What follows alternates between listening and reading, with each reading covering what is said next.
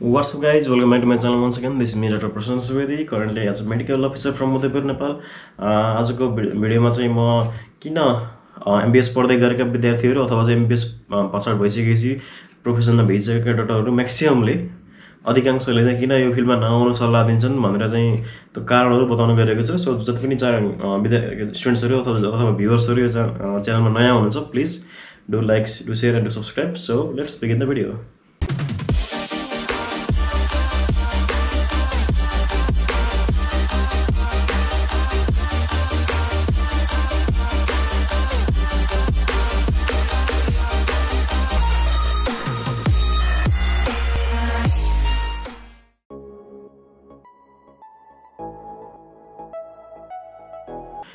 okay guys so number one point भनेको चाहिँ lack of personal time अथवा lack of family time हो जुन चाहिँ अब तपाईँले एमबिएस पढ्दा अथवा बिएडएस पढ्दा नै देख्नुहुन्छ। एमबिएस पढिरहेको स्टुडेन्टलाई जति बेला सोध्यो भने के छ? एक्जाम छ। एक्जाम नै चलिरहेको हुन्छ त्यही भएर चाहिँ ल्याक अफ लेस होल्डेज होइन। अनि फ्यामिली टाइम मिस भइरहेको हुन्छ इभेन्ट्सहरू फ्यामिली इभेन्ट्सहरू भइरहेको हुन्छ त्यो कसैको बिहा भइरहेको छ कुनै एकदम क्लोज रिलेटिभको त्यस्तो पनि मिस भइरहेको हुन्छ एउटा त्यो पार्ट भइहाल्यो। त्यसपछि अब प्रोफेसनमा लागिसकेपछि एमबिएस पास आउट भइसकेपछि पनि अब ड्युटीमा बिजी भइन्छ।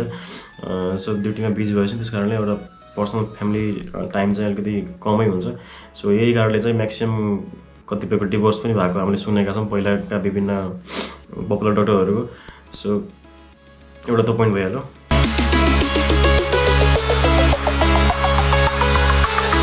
र गाई सेकेन्ड पोइन्ट भनेको के छ भने चाहिँ स्टडी डिलिट आयो भनेको चाहिँ अर्थात् तपाईँ एमबिएस गर्नुहुन्छ एमबिएस गरेपछि पनि तपाईँको भ्यालु त्यति साह्रो हायर लेभलमा पुगेको हुँदैन। डिएम एमडी गर्नै पर्ने हुन्छ एमडी एमएस होइन? त्यसपछि पनि अरू अरू विधाहरू छन् डिएम भन्ने छ त्यसपछि माथि माथि फेलोसिप भन्ने हुन्छ। सो एउटा this is a continuous process तपाईँले आ- एउटा एमबिएस पढेर चाहिँ आइएम सेटल्ड भन्ने भन्ने चाहिँ हुँदैन कि?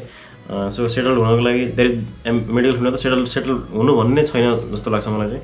So it it is a continuous process you have to learn every day अनि अब तपाईँ पुरानो डक्टर हुन्छ धेरै पहिला नै पास आउट गर्नुभएको छ भने नयाँ कुराहरू अपडेट भइरहेको हुन्छ मेडिसिनहरू पनि। सो सबै कुराको अपडेट भइ भइरहेको हुनुपर्छ so this is a continuous process continuous learning process so त्यही भएर चाहिँ एउटा तपाईँ एमएस पढ्छु त्यसपछि धेरै खासै पढ्न नपरे हुन्थ्यो। जस्तो टाइपको पाराले आउनु भएको छ भने तपाईँलाई अलिकति गाह्रो हुन्छ। सो त्यही भएर पनि नआउनु भन् भन्ने एउटा कारण यो हो।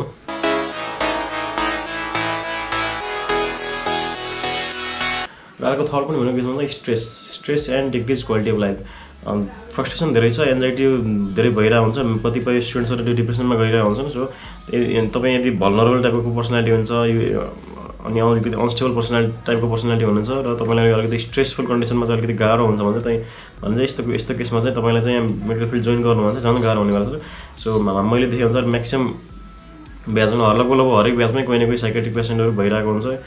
सो एउटा स्ट्रेसफुल कन्डिसन भएको कारणले पनि पहिला अरू डक्टरहरूले अरू एमबिएस पढ्दै गरेकोहरूले चाहिँ नआउने म्याक्सिममले नआउने सल्लाह दिने कारण त्यही हो।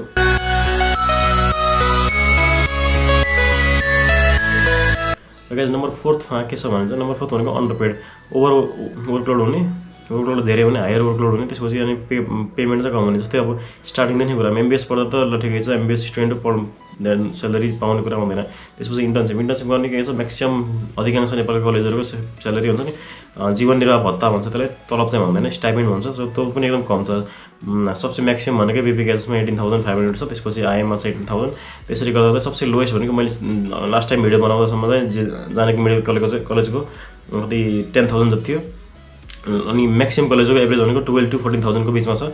सो अझ मेन प्राइभेट कलेजहरूले चाहिँ इन्टर्नसिपको स्यालेरी चाहिँ स्टाइपेन्ड चाहिँ एकदम कम दिने गरेका छन् र दिने पनि गर्दैनन् चार पाँच महिनासम्म ढिलो गर्ने गरेका छन्। जस्तै अहिलेको करेन्ट इस्यु भनेको चाहिँ गण्डकी मेडिकल कलेजमा चाहिँ पाँच महिनादेखि इन्टर्नसिपको स्टाइपेन्ड आएको छैन भन्ने भनेर आन्दोलन चलिरहेको छ। सो यही केस चाहिँ फेरि अर्को एमडी पढ्दा एमडिएमएस पढ्दा पढ्दा जेआरसी पनि लागु भइरहेको छ।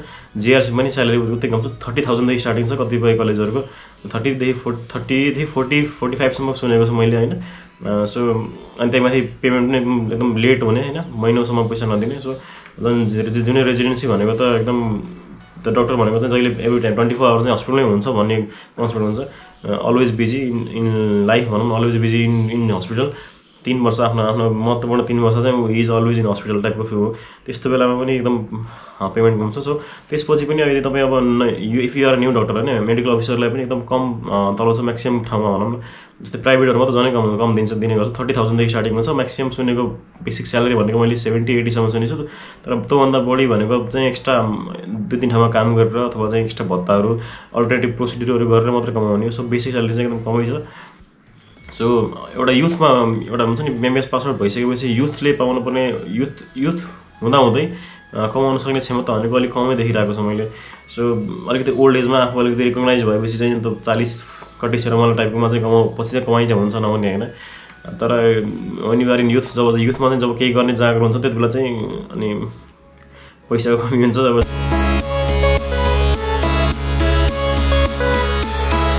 पोइन्ट भनेको चाहिँ युथ जवानी। तपाईँको चाहिँ जवानी। तपाईँ सपोज एटिन इयर्समा जोइन गर्नुभयो सिक्स इयर जति चाहिँ सबसे आफ्नो लाइफको एकदम most important part bachelor life भनौँ न। Most productive most energetic time चाहिँ तपाईँको एमबिबिएस गर्दा गर्दै बित्छ।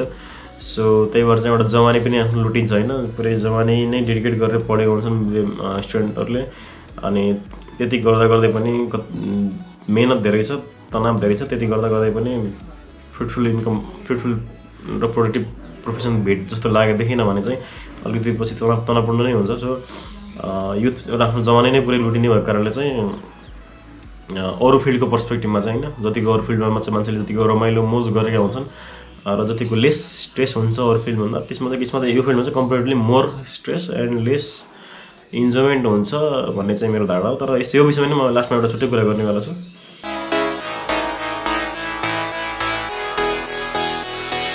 ल अब अर्को पोइन्ट आयो भनेको चाहिँ हाई इन्भेस्टमेन्ट हाई इन्भेस्टमेन्ट किन भने चाहिँ यदि तपाईँ fear higher class family higher class family हुनुहुन्छ तपाईँलाई मेडिकल फिल्डमा आउनु छ डक्टर बन्नु छ भने चाहिँ it is it is it may be easier for you होइन? तपाईँलाई चाहिँ त्यो पैसाको स्ट्रेस छैन यत्रो इन्भेस्टमेन्ट गरेको छ भने छुट्टै प्रेसर हुँदैन।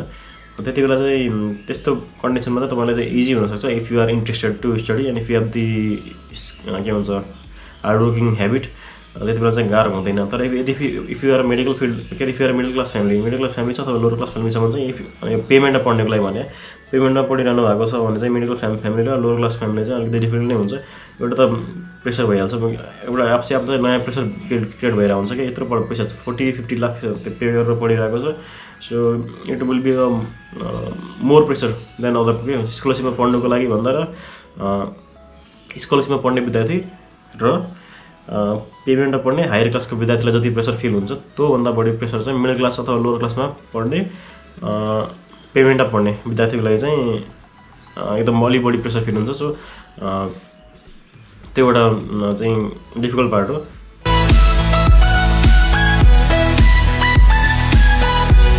अर्को फेरि महत्त्वपूर्ण कुरा भनेको चाहिँ lack of social security lack of security security छैन।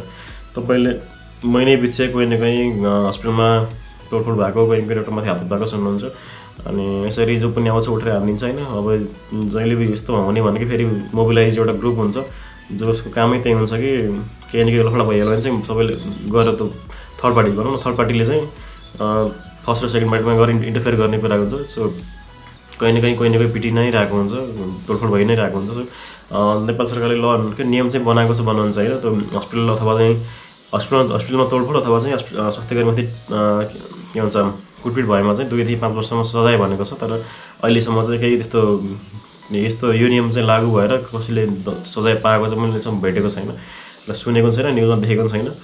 सो एउटा नेपाल नेपालको नेपाल लगायत इन्डियाको साउथ एसियन रिजनको चाहिँ एउटा सेयर रियालिटी त्यही नै हो।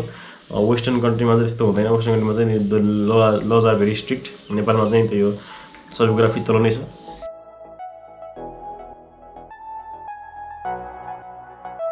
र अब अर्को पोइन्ट भनेको चाहिँ सेचुएसन ओभर सेचुएसन भन्छ होइन। अब यो अहिले चाहिँ यो पनि मैले त्यति पहिला एमबिएस पढ्दा त्यति बुझेको कुरा होइन होइन। न त एमबिएस मेडिकल फिल्ड छिर्नुभन्दा अगाडि बुझेको कुरा हो।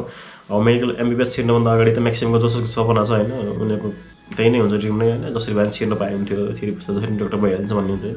सो एउटा सोसल सेक्युरिटी अफ लाइफ चाहिँ छैन जस्तै अब नेपालमा चाहिँ कति अधिकांश के भन्छ मान्छेहरूलाई चाहिँ के छ भने जब नभएर तपाईँको चाहिँ अब के गर्ने भन्ने त अन्य टाइपको हुन्छ। सो प्रोपर स्किल्स नि हुँदैन अनि प्रोपर जब नि हुँदैन त्यही अनुसार। तर यसमा यो मेडिकल फिल्ड आउनुको फाइदा चाहिँ के छ भने चाहिँ you have a security at least you have a security कि सेक्युरिटी इन द सेन्स कि त अब जिन्दगीमा अन्यल त छैन यस at least you can survive कि। तपाईँ if you are even a lower class family if you are even mid middle class family तपाईँलाई एटलिस्ट सर्भाइभ गर्न सक्नु तपाईँलाई र तपाईँको फ्यामिलीलाई सर्भाइभ गर्न गराउनको लागि चाहिँ बेसिक चिज चाहिँ तपाईँले लगभग लगभग गेन गरिसक्नु भयो एमबिएस पास आउट गरेपछि।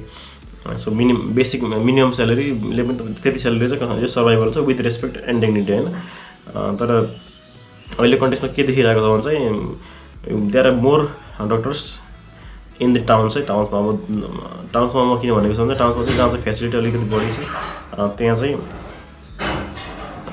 सबैजना डक्टर त्यहीँ नै कन्सिडर हुने एउटा ट्रेन्ड भएको छ सो अब if you if you want to go to the remote places होइन रिमोट प्लेसमा जान खोज्यो भने चाहिँ त्यहाँ चाहिँ सेचुएसन ओभर सेचुएसन हुँदैन किनकि त्यहाँ चाहिँ स्कार्सिटी छँदैछ अझै पनि।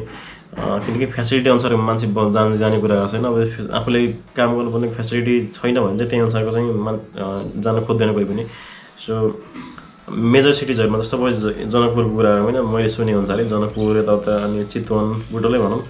म्याक्सिमम् सिटी सिटिजहरूमा चाहिँ there is over saturation as per the यो सिनियरको कुरा गर्ने सुन्दा चाहिँ सो त्यो हिसाबले पनि के छ अब ओभर सेचुरेसन किन भइरहेछ भने चाहिँ मेनको त अब मेडिकल कलेजमा यति धेरै डक्टरको पढाइ भइरहेछ सो एउटा फ्याक्ट त्यही हो धेरै डक्टर बनिरहेका छन् पहिला कम्पेरिजन पहिला चाहिँ एकदम कमै थियो तर स्टिल ओभरअल पपुलेसन हेर्दा त कमै छ होइन रेसियो वाइज तर मेजर सिटिजहरूमा चाहिँ अलिकति it is like over saturation अनि अर्को पोइन्ट भनेको चाहिँ त्यही लो पिजी सिट अब इयरली कति फाइभ टु सेभेन थाउजन्डजनाले चाहिँ पिजी इक्जाम दिएर हुन्छ तर सिट सेभेन एकदम भेरी लो अनि सो मेडिकल अफिसर चाहिँ थुप्रैको थुप्रै छन्। एमबिएस पास आउट हुन्छ मेडिकल अफिसर थुप्रैको थुप्रै छन्।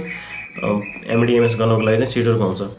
सो यही कारणले गर्दा नै म्याक्सिमम् चाहिँ यहाँ त बस्दैनन् कि त इन्डिया जान्छन् म्याक्सिमम् अझ कतिजना आजकल आजकल त युएसएमएलले र युके के भन्छ ट्रेन्ड छ युके जानको लागि युके अस्ट्रेलिया जानको लागि। सो त्यो एउटा केस अर्को भनेको चाहिँ नेपाल सरकारले लोकसेवाको सिट पनि एकदम इक्जाम गराएको अस्ति एउटा नोटिस निकालेको थियो कति चार पाँच वर्षपछि। त्यो पनि कति थोरै बिसजनाको सिटको।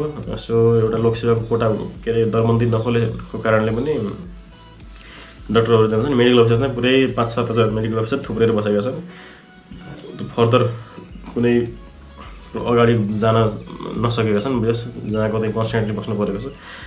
सो यसले गर्दा चाहिँ के एउटा समस्या देख्यो भने चाहिँ ग्रेजुएटेड जबलेस भनौँ भन्छ नि। ग्रेजुएटेड जबलेसको मात्रा चाहिँ अलिकति बढी हुने हो कि भविष्यमा भन्ने शङ्का छ सो अब अहिले चाहिँ फर्स्ट इयरमा भएको स्टुडेन्टको लागि चाहिँ त्यही पछि पाँच फाइभ टु सिक्समा जब पास आउट हुन्छ। त्यति बेला चाहिँ के गाह्रो हुनसक्छ भने चाहिँ मोस्टली ओभर सेचुरेसनै हुन्छ जस्तो लाग्छ मलाई चाहिँ। मैले जहाँसम्म बुझेको छु मैले जहाँसम्म देखेको छु त्यो हुन्छ so that is the that is my last point so overall suggestion के दिन जान्छ भने चाहिँ ओभरअल सजेसन भनेको चाहिँ त्यही नै हो।